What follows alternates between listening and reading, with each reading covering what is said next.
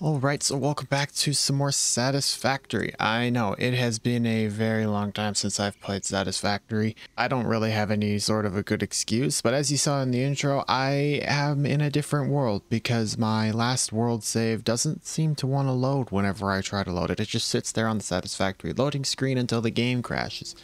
So we're going to start a new save, and uh, as you've seen in the beginning, I already set up the basic system that I'm going to need to be getting resources and whatnot. So your, your basic resources pretty much is all set up over there. Right now, I am beginning to work on a iron factory. So we got the iron nodes all over here. We've got two impure nodes here and three normal nodes here that we're going to draw from and throw into this building here to produce iron. First, we got to set up the actual factory area. I don't know how much I want to produce. I didn't really super plan much of this. We also have this copper node that's kind of in the way of where I'm building. And I don't know if I'm going to need it or whatever. So for now, I think we'll just build over top of it and cover it up and pretend like it doesn't exist. And get rid of these stupid plants coming through the floor. And like that, it's like it never existed. Yeah, you like the factory building? Yeah. Anyway, I'm not, as I said, I'm not sure how I'm going to lay out this factory, but... Did you move, Bean? Thank you. I don't want to blow you up. I want to build... I left a space here because I think in the future we'll probably have a rail line coming through here, so a train line coming through here to collect resources. So because this will be the primary iron building for this area or for my world, it's also a good way to bring the resources in along the wall or something like that. So I want to make sure I leave space for that, and then obviously it's going to have to come into a platform in here, where then the train can come on and then have a station down here for maybe future purposes. We'll just fill this whole can canyon base up with uh, floors and we could just use this for like a lot of the factory stuff. So let's say, for example, we had the track coming in and it was coming in from like right here.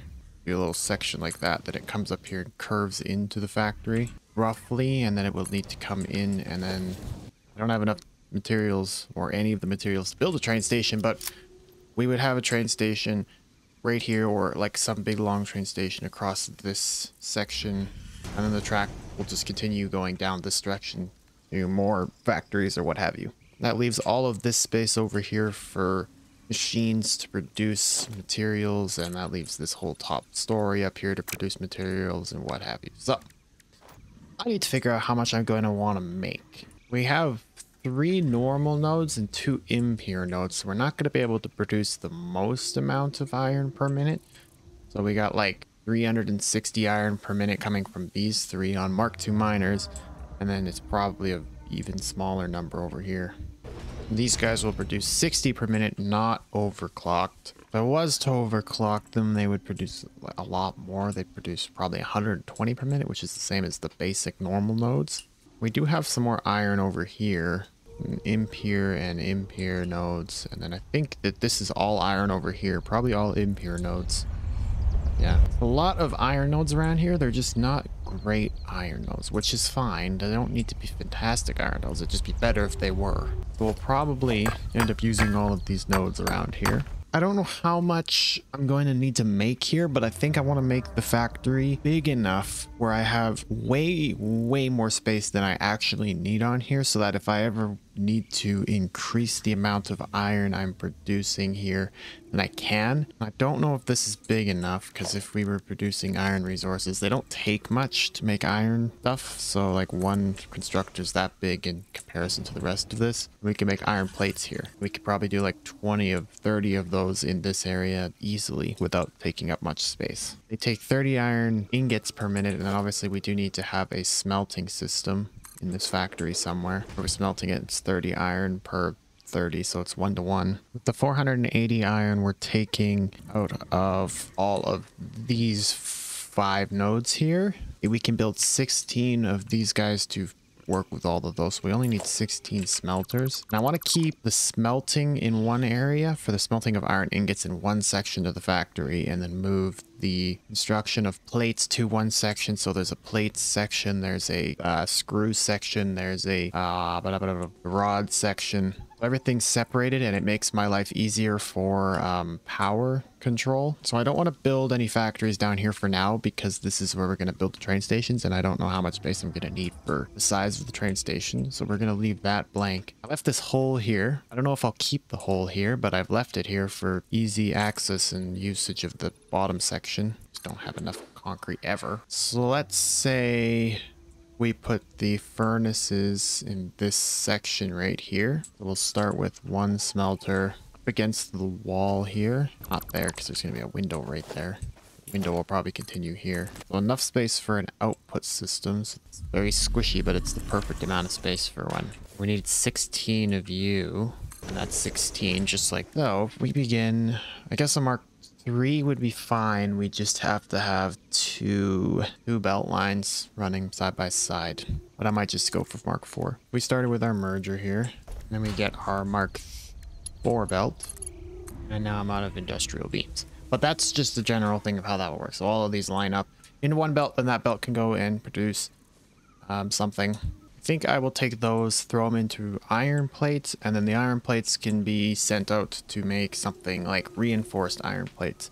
And now we have the inputs set up, and that's the power lines hooked up, recipes given. We can do 16 constructors, and that is... No, it's not. Scratch that. That's the whole iron plate system set up. So that's all of those guys will fuel all of these guys. We just need to bring the line of iron over that way. Like that, hooked up. And then the output, no idea where the output's going to go because it's currently just a full service output. Now we need to figure out, well, we don't need to figure out, we just need to move all of the, we need to move all of this in here. So we just got to finish doing the thing I was doing setting up nice belt lines all the way across here while removing wild natural life from the planet. Out of my way. More important things coming through.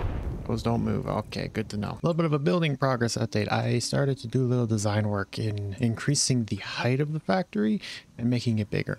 It's more of just a uh, facade right now. It's kind of like party in the front and or business in the front and party in the back, if that's how the saying goes. Miners and the power. So we got the belt line that just runs neatly onto a bridge that goes over where the railway will go in here up and then it's all nicely connected to what it needs to be connected to.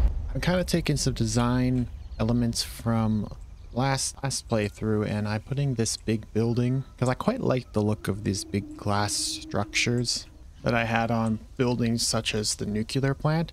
The nuclear plant had this, which was like a control room for the factory. So I think this will be the control room for this factory, or that's my plan to be the control room for the factory. There's not much going on inside, obviously, as I explained earlier when we were setting this up. I don't have super amounts of iron, like technically speaking, around here, because there's, you know, there's lots of iron nodes, but they're like impure, impure, and like normal nodes. There's no like pure nodes. And I'm only using Mark II miners because it's all I can afford to do at this point in time. And I can barely afford to do them. Can't make this really big. This will have to be expanded more in the future, but I can future-proof it by making sure that there's lots of space on the inside of the factory for more constructors and smelters and factory-related buildings.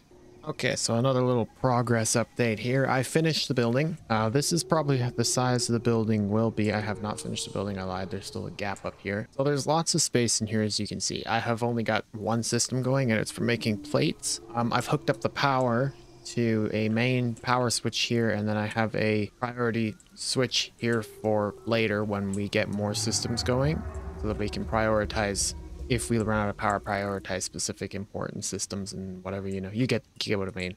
I've hooked up using these new power towers that they added. These things look sick and it looks really cool just going off into the distance and then towards where the power plant is for my world currently. And there's this guy. So if we turn this bad boy on, we only end up drawing like 396 megawatts total while this factory is working, which is perfect because I'm not making too much. I'm just double checking everything's on. I see that we do have iron running through here, so that's a good sign. And it comes up here and just gets all merged into one belt and into Bean's mouth, apparently. Next thing we need to do is we need to go over to these iron nodes over here and hook them up into the factory and hook them up to a different system than the one we have going right now. So probably hook them up to we still need to do the uh, poles, the rods, the iron rods, and the screws as well. So I will... Are you doing? What in the world are you doing, Bean? I will go do that You are a strange creature. And I'm done with the iron rods. It's all set up. It's connected up. It's good to go, as you can see with all the green lights and stuff and what have you. Uh, when I brought the belt in over here, I just brought it in a bridge, lifted it up right here so that the train track can go underneath nicely without having like really close to dropping your head off clearance headroom. I merged all of these belts together into two 450 belts, so they're almost 480, but they're not quite.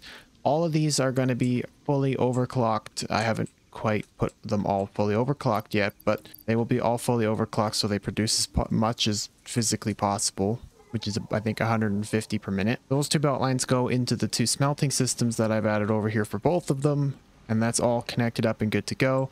And we've got one of the belts, and as you can see, one of them goes into the iron rods. We have to do another one of these iron rod systems to make the screws because screws take iron rods. So we need I'm going to overclock. I'm going to overclock the screw production system a little bit so that it evens out perfectly to a 15 per minute so that it fits with the 15 iron rods per minute. So it's a one to one on either of these machines instead of it being a one to two or something along those lines. I think it was would have been uh they did 10 per minute. So for every uh two of these, you could do three of these machines or something like that. So yeah, two to three ratio instead of instead of being two to three, it's it's one to one. And we have the screws set up. Uh, the screws produce a lot.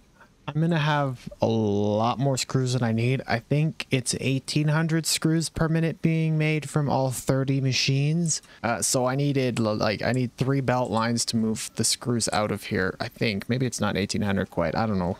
Yeah, it's 1800, so I need twice as many belts as I have.